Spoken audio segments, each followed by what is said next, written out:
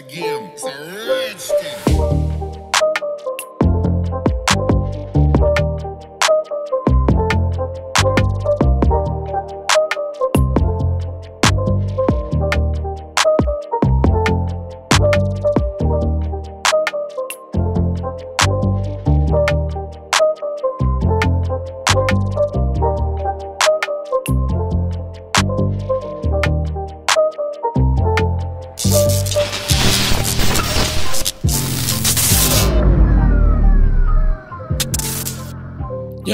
Vamos con el resumen del Olimpia porque si no me van a matar aquí. Mucha gente, los que tienen que ver con el mundo evidentemente del culturismo, ya me estaban reclamando, eh, no vas a hablar del Olimpia, ¿qué pasó con Birrami? Acaba de ganar Birrami. Estoy contentísimo por una parte, por otra no estoy tan contento. Estoy contento por la parte de Birrami. Hacía, hacía muchísimo tiempo que no veía un culturista tan grande que fuera con la forma que fue Birrami, que no tuviera la panza embarazado que generalmente traen los culturistas tan grandes como Birrami, lo ha arreglado de una manera bestial. Voy a aclarar una cosa, mi Fiji, la verdad es que nunca ha sido un campeón que me haya gustado demasiado.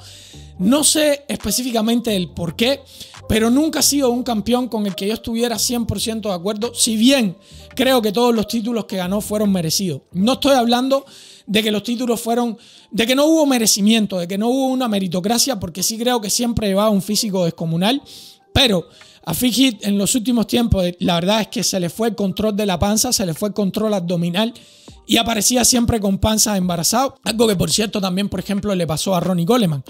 Y esto, bueno, ha venido pasando en los últimos años y en los últimos 4 o 5 años se ha tratado de rectificar. Pero en este caso, Fiji no creo que haya sido tanto eso, si bien forma parte de lo que pasó, por lo cual Fiji perdió, porque en esta ocasión Fiji queda segundo, queda tercero, perdón, detrás de Brandon Curry y detrás de Bill Ramy. En esta ocasión yo creo que lo que le pasó factura realmente fue la condición física, digamos, la definición, como le decimos normalmente en español. Esa condición, esa definición, no la llevó en el punto que Fiji siempre está. Fiji siempre está en un punto que sobrepasa a todos los demás, sobrepasaba a todos los demás. El único comparable, en este caso con él, en su tiempo era Kai Green. Kai Green también siempre llevaba una forma física impecable, siempre iba muy, muy, muy definido. Y esto, a pesar de que Phil tenía unas formas más agradables de mirar, o sea, un cuerpo mucho más estético que el de Kai, desde mi punto de vista, ojo, hacía que Phil siempre le ganara. Pero le ganaba muy, muy cerrado, siempre le ganaba bastante, bastante cerrado. Ahora, ¿por qué no estoy demasiado contento? Creo que a Hadi Chupain creo, espero que se pronuncie así el nombre de Hadi. Y yo creo que lo tiraron para el cuarto lugar y no merecía el cuarto. Yo voy a estar dando aquí nada más mi opinión, ustedes pueden tener la suya. No me gustó, yo creo que era el segundo. Está bien que sea iraní, está bien todo lo que tú quieras, pero es que la única parte corporal que yo le veo a Hadi mala son los antebrazos. Fuera de eso, creo que Hadi todo lo demás lo tiene espectacular y bestial. Y Hadi era, yo creo, el que tenía que estar comparándose realmente, en este caso, en, en todo sentido, con Birrami. Eran los que mejor condición tenía, eran los que mejor estaban. Er, desde mi punto de vista, era Hadi y él. Estaba entre ellos dos la cosa. ¿Por qué? Porque Brandon, si bien es un culturista que a mí me gusta mucho, las piernas siempre se le quedan muy atrás. Desde mi punto de vista siempre se le ven bastante lisa, bastante plana, sin demasiada profundidad en los cortes como tal. Algo que, por ejemplo, a Birrami también le ha pasado factura durante muchísimos años. Yo creo que la madurez muscular que ha ido alcanzando poco a poco Birrami, pues bueno, ya viene siendo a través del tiempo, le viene dando un poco más de profundidad, etcétera, etcétera. Pero esto yo creo que es algo que a Brandon todavía le falta, a pesar de que ya es un culturista bastante longevo, yo creo que las piernas todavía se le quedan un poquito atrás, sobre todo de frente. Después de espalda, yo creo que él está, las piernas están bastante bien, pero sobre todo de frente yo creo que le quedan un poco lisas en comparación con culturistas como Hadi, en comparación con culturistas incluso como Phil Heath.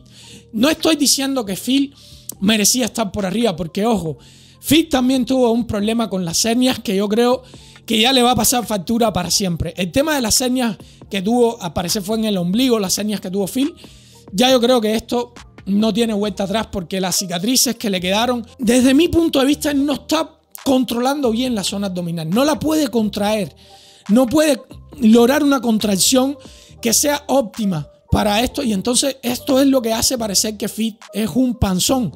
Cuando si vemos, buscamos al Fiji de 2011, que yo creo que 2011, 2012 fueron por ahí, por ahí los mejores Phil, nos damos cuenta que el control de la zona abdominal lo tenía, vamos, más que dominado.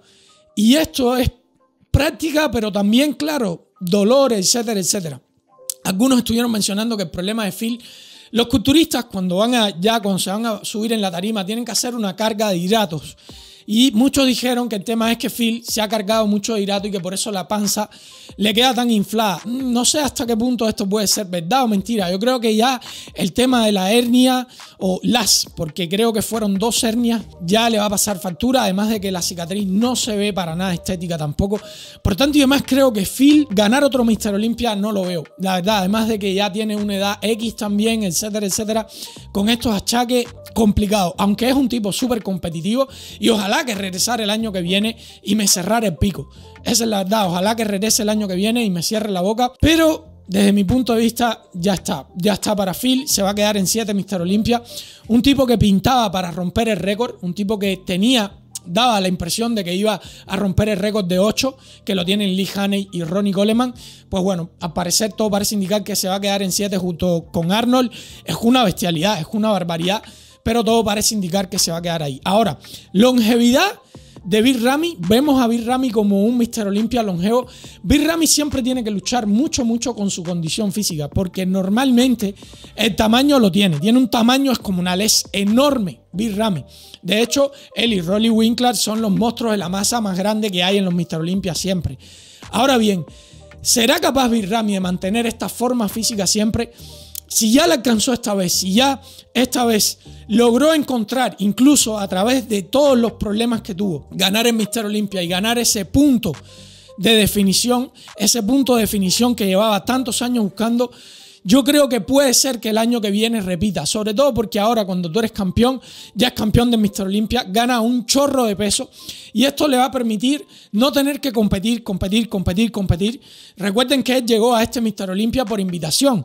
Él ni siquiera, Rami ni siquiera clasificó para este Mr. Olympia, tuvo muchos problemas, le dio COVID en la última competencia que iba a estar tuvo COVID y no pudo competir. No tuvo la posibilidad de llegar a Mr. Olympia, digamos, por una clasificación como tal, sino que fue una invitación especial.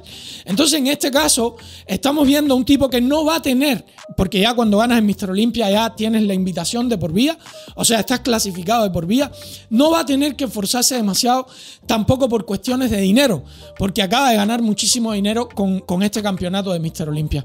Ahora bien, saltando de esta parte, lo que me gustaría que me dijeran es si ustedes lo ven merecido. Desde mi punto de vista es muy merecido. Y segundo, si ustedes ven que Hadi merecía estar un poquitito más arriba en la tabla. O sea, segundo o tercero.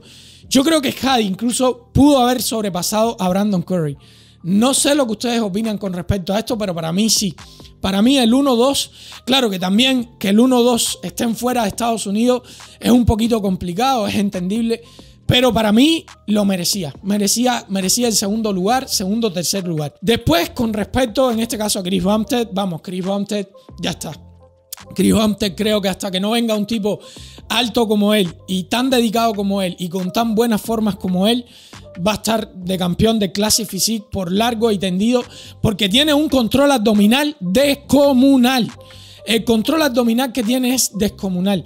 Este tipo, hasta cuando le ponen la medalla, está posando con ese vacuum bestial y descomunal. Esto fue lo que hablé también en el video de Jorge David, que esto es algo que hay que practicar mucho. Ustedes fíjense que se le criticó mucho a Brion Amsley, se le criticaba por el hecho de que Brion no hacía vacuum y entonces empezó a hacer el vacuum ahora.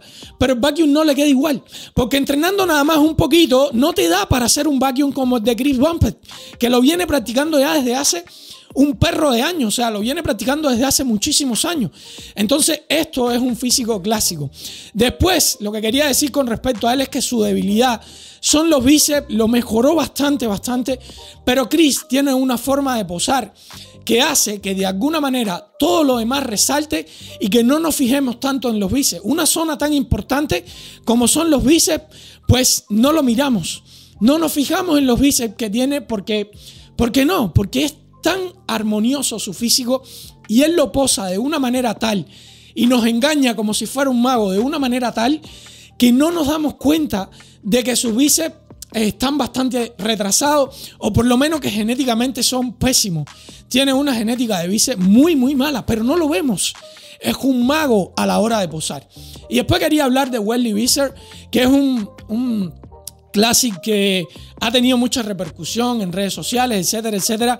Yo creo que Wesley va a tener que cambiar todo porque él tiene una mentalidad, yo lo he seguido durante algún tiempo, y tiene una mentalidad de que no, lo que yo digo es lo correcto y lo demás no es correcto. Y él quiere que las leyes de, digamos, no las leyes, sino que los jueces se adapten a él y no él adaptarse a los jueces. Él quiere que el clásico sea como era en el tiempo de antes. Fíjense que llevó una truza altísima. Llevó una truza sumamente alta que yo dije, ¿qué está haciendo ese tipo con esa truza tan alta? ¿Está loco? ¿Qué está haciendo con esa truza tan alta? Creo que eso le restó bastante. Creo que también a las piernas tiene que traerlas un poco más. Claro que él lo que menciona es no, pero en aquel tiempo las piernas no tenían tanta importancia. Ya, pero es que los tiempos cambiaron y tú te tienes que adaptar a lo que los jueces piden y no los jueces adaptarse a ti, porque no lo van a hacer. Punto pelota. Los jueces no se van a adaptar a Wesley Visser. Y por ahí yo creo que iba más o menos el resumen que quería hacer de Mr. Olympia. Yo sé que normalmente no hablo demasiado, pero es un deporte que a mí me gusta bastante, así que bueno, por aquí les dejo el video para los que les guste, para los que quieran saber un poquito más de culturismo. Nos vemos la próxima aventura, gente. Chao.